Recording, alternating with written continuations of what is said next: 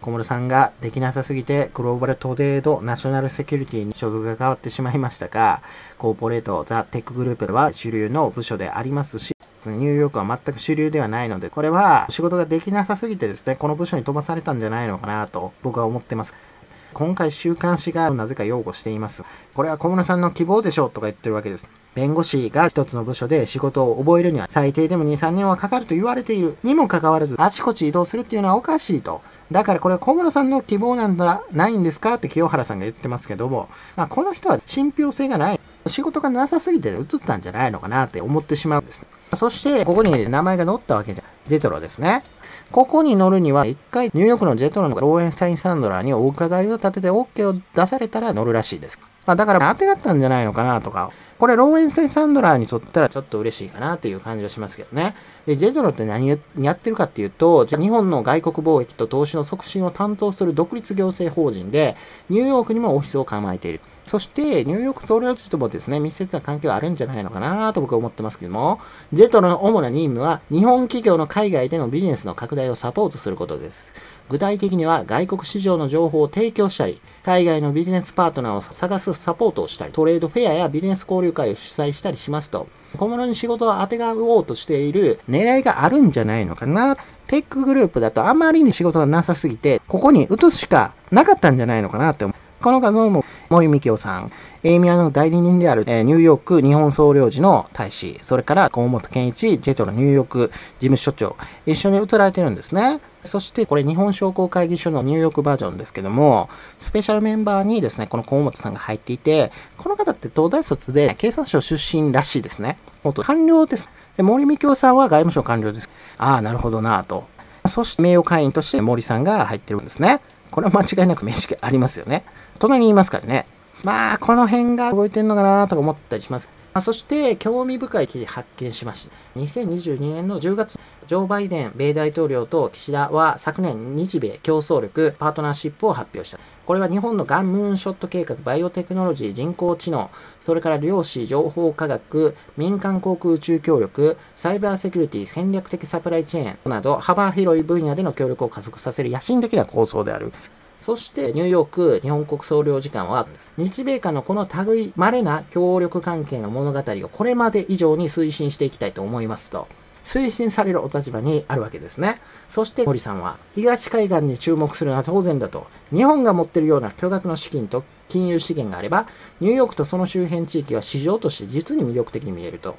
日本企業からのニューヨークに対する投資ですよ。そこに小物を挟ませるんですかそれから小物さんも出てくるんですよ。J ブリッジプロジェクトは世界中で展開されていると。アメリカの場合、2021年にカーボンニュートラルの分野を、22年にはデジタルトランスフォーメーションの分野が加わったり。ジェトロが大きく動いているわけですよ。こうした努力の中心となっているのがジェトロであると。海外でのビジネスチャンスを探している日本企業と海外企業をつなぐプラットフォーム J ブリッジを立ち上げた。ね、その J ブリッジの発信に小室を置くんですか？それね、崩壊しますよ。欠陥大橋じゃないですか？そんな J ブリッジの中心に連絡係として小室を置いたわけなんですけど、小室さんはグローバルトレードナショナルセキュリティに入ってるんですね。あと結構近いなーって、女性自身の方にニューヨーク弁護士のリッキー徳永さんはこう話すと、米国だけではなくて、世界各国の企業がクライアントになると。その業種は金融、軍事技術、生命科学、航空宇宙、ソフトウェア、開発、製造業、通信など多岐にわたる企業活動が法令に準じているかなどをチェックするコンプライアンス対応のほか政府機関による調査への対応、輸出入などの貿易管理など、弁護士が関わる業務の幅も広い分野と言えますってわけなんですね。まあ、さっきの J ブリッジプロジェクトとか、まあ、関わりがありそうな気がしますね。こういうところに小物を置いたんじゃないんですか？これはローエンスタイン・サンドラーにとっても美味しい話ではないでしょうか。まあ、雇い続けるだけでこういうジェトロから関わり合いが持てますからね。小室が連携される役割を持つんじゃないのかな。実際やるのはドリーンさんとかのチームだと思いますけども、小室はニューヨークにいますから実作業ないと思うんですけどね。だからこんなんリモートできるわけですよ。ローエンスタイン・サンドラーのグローバルトレード国家安全保障プラクティスは、クライアントが国境を越えた利益を促進し、ビジネス目標を達成するために、今日のダイナミックな規制環境をナビゲートすると。当事務所のチームは、米国企業及び外国企業が貿易リスクを管理して規制を遵守し、立法府、法執行当局、政府立案者に自らの立場を効果的に伝えることができるよう支援します。個人投資ファンド、研究機関に対して数十年にわたるアドバイス経験を有していますと。ジェトラのサイトにもそういった文言を貿易関係のことだと思います。まあ、ですから、ここにもろぶち込んだんじゃないのかな。テックグループでは仕事がなさすぎてね。怖くて仕事任せられなかった人間ですからね。それはなぜかというと、LLM を1年目で言ってるからなんですね。これ JG の1年目は非常に大事。そこで本来ならば就活って終了するわけなんですね。JD1 年目に重要なことを学ぶし、インターン行くし、そこから弁護士事務所に入っていくのがベターな流れなわけなんですけど、小室君はその大事な大事な1年を LLM で過ごしてますから、雇われてるのも奇跡的状況ですね。裏にシーンがあるんでしょう。あ、やっぱりローエンスタイン・サンダラとニューヨークソロジョージってやりとりしてるのかもしれないですね。少なくともデトロのサイトに載ってる以上はローエンスタイン・サンダラとはワールしてるはずですよ。で、そもそも小室さんの希望とは M&A だった。M&A を望んでいたのは明らかでして、小室さんの自己紹介の方にも M&A に関わるような文言しかないですね。で、日本語が流暢であるとわざわざ書いていますから、そういう仕事を期待したんでしょうね。とある週刊誌は引く手あまたとか書いてありましたけども、仕事がなかったんじゃないのかなと。まあ、そもそもレビテーションのリスクが高すぎますし、小室君って大炎上してるわけじゃないですか。小室君を採用することによって、ブランド価値が大きく欠損するんです。まあ、そういうふうなレピュテーションのリスクもありますし、まあ、そもそもハレーションも非常に高いですから、小室君を雇ったという一面で全体が低評価を食らいかねない。リスクでしかないですよ。デトロもこの表を乗っけただけで、繋がってるのかって思われてるわけですよね。ジェトロにとってはあまりいい評価ではないような気がしますけど、ジェトロの信頼性と使命を損なってるんじゃないんですか？本来ならば、小室君は弁護士にもなれなかったはずですよ。不正な手段を用いて学歴をゲットしたのは明らかです。皇室特権を使ってここまで来たじゃないですか。2600年の皇室の伝統、彼らは監禁化したわけです。財産の移動だと思いますけどね。有形ではないですけども、無形の財産の移動、マコから移動してるじゃないですか。それダメなんですよ。まあ、そんな人が弁護士になっていただきたくないし、懲戒請求を受けるべきだと思います。やめていただきたいな。日本にとっても恥であるし、皇室の権威はこの方によって貶められ続けてますからね。まあ、それからウィリアム・ニューヨークさんがお話をされてるわけなんですね。ちょっとリンク貼っときますね。ニューヨーク日系人会の大物さんの話をちらっと聞く機会があったらしいんですね。KK さんは、まあ、ある意味、まあ、有名だから、弁護士になったら、クライアントがいっぱい来るでしょ、みたいな感じですよね。はい。だから、やっとったんだと思いますよ、と。しかしながら、蓋を開けてみたら、誰も来なかったってわけなんですね。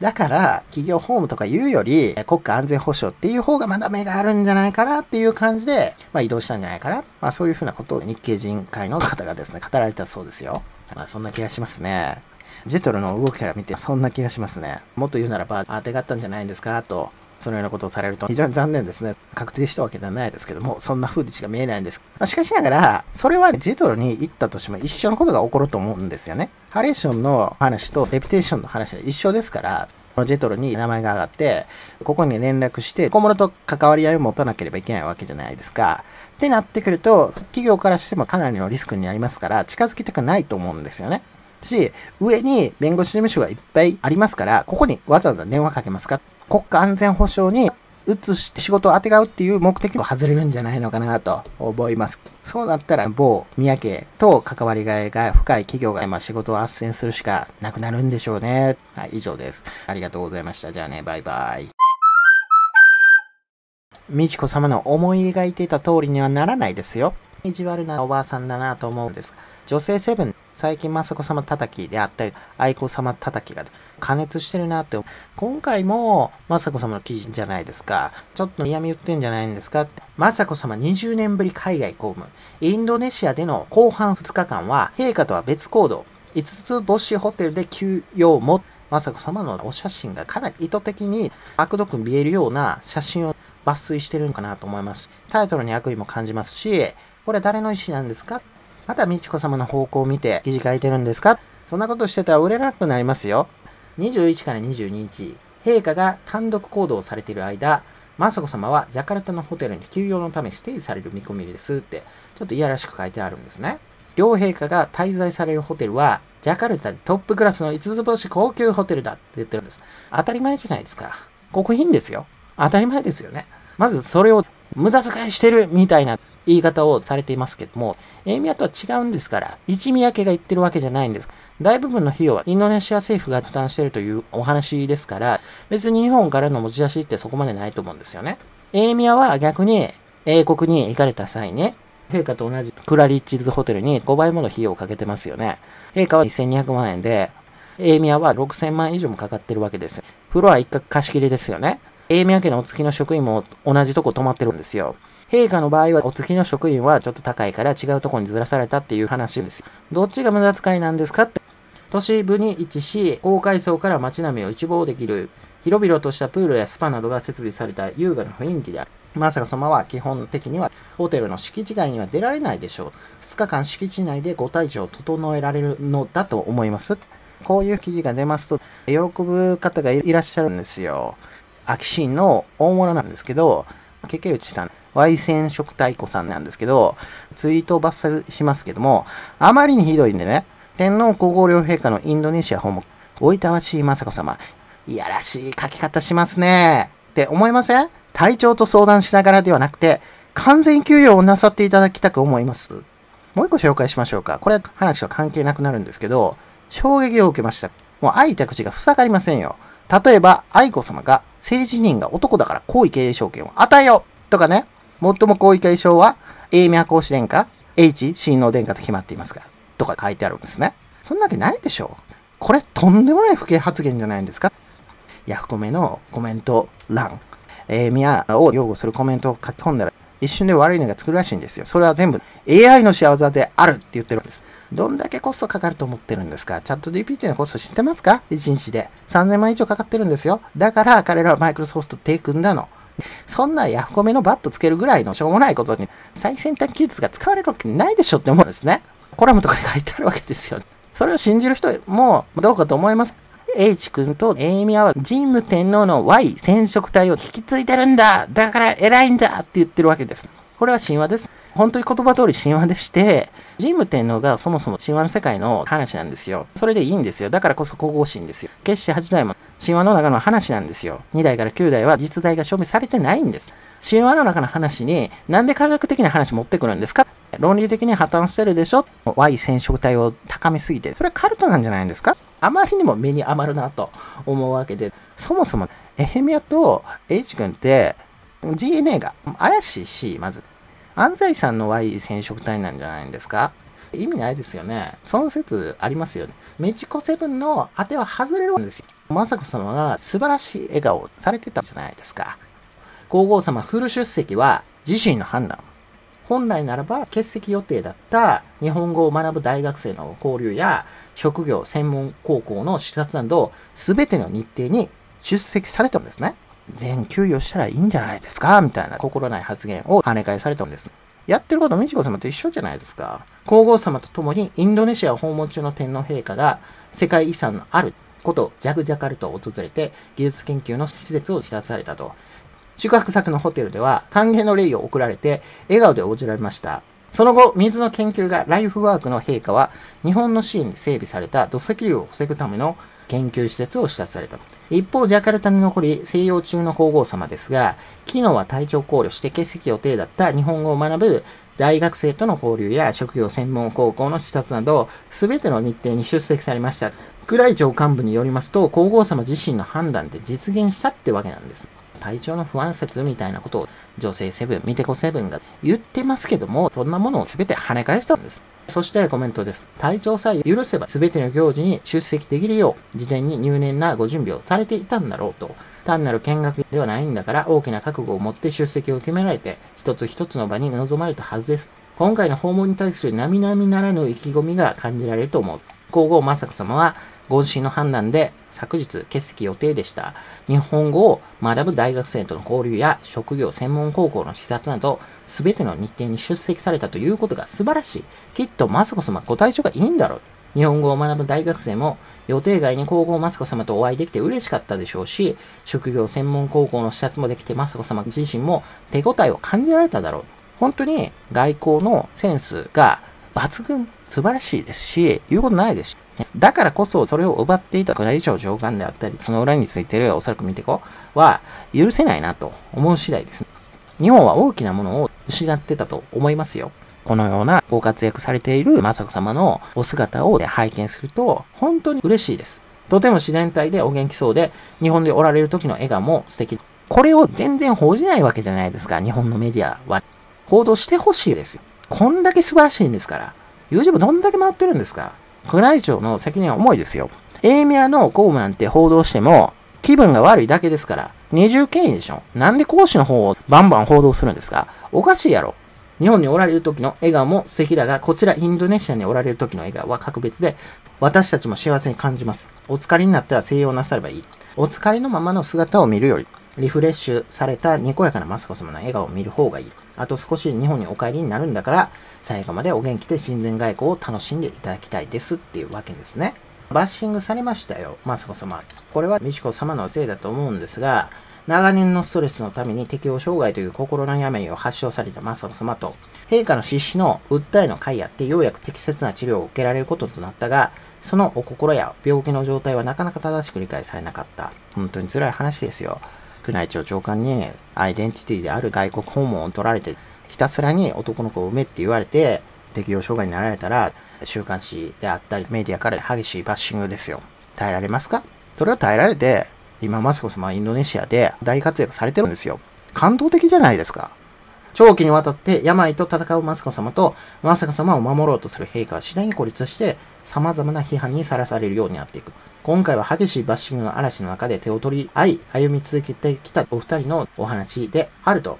心ないメディアがわがまま病であったり、そういうことを言ってるんですよ。ありえないなと思います。マスコ様に対して、エーミアと現上皇陛下、ケチつけたわけですよ。上皇陛下は、上皇后陛下の残念ながら言いなりだと思うので、エーミア殿下の39歳の誕生日会見で、異例とも言える発言をされた。天の人格否定発言に関して、記者会見の前に陛下に話をするべきだったと、弟が兄に苦言を呈した。そしてその1ヶ月後の12月23日、一緒になってるんですよね。今度は父である現上皇陛下が人格否定発言について、まだ十分に理解しきれぬところがある。それを言うんだったらば、隣にいつもへばりついてるお皿に関して言及するべきなんじゃないんですかお身内から相次いでお捨てられた批判的な言葉。それに対し、よく2005年2月、45歳の誕生日会見において、当時、皇太子だった限定の陛下はこう意見を述べていると。現上皇陛下のお考えも、英明の考えも、私の考えも同じ。話し合い続けることを理解を深めると前置きした上できっぱりとこう言い放ったと。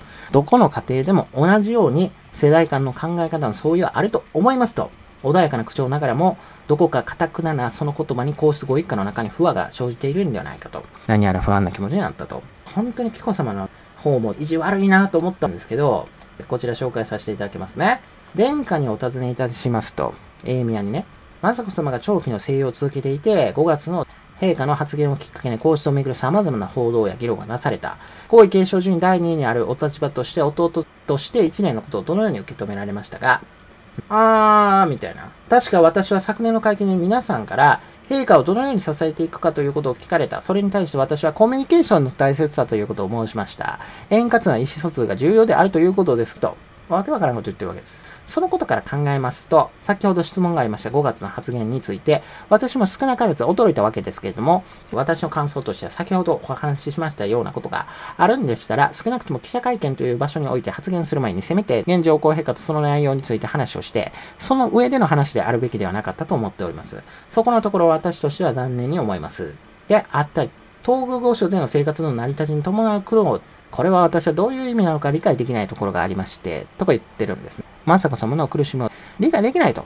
喫煙の方、結婚してからの生活を新しく出会う、務めや初めて経験する慣習などが多くございました。どのように務めを果たしたらいいか、至らない点をどのように改めたらいいかなど、不安や伴いなどもございましたが、その都度人々に支えられて、試行錯誤をしながら経験を積んで、一つ一つを務めて参りましたと。私は乗り切りましたよ、みたいな感じですよ、これね。発言として。意地悪いなって僕思いましたよ。両陛下は私たちの考えてることや、感じることを静かにお聞きくださり、私たちの務めや娘たちの成長を温かく見守ってくださいましたことに大変ありがたく思っておりますと。また、皆様が私の考えや気持ちを置かれている状況を的確に捉えて導いてくださったことは生活する上で大きな支えとなりました。紀子様のスローペースで話されたんですね。これ計算された人いるんですけど、そもそも紀子様と雅子様の発話するスピードは紀子さん2分の1しかないんですよ。同じ時間に対して2分の1しか言葉発せられないわけなんです。非常に面白いなと思って。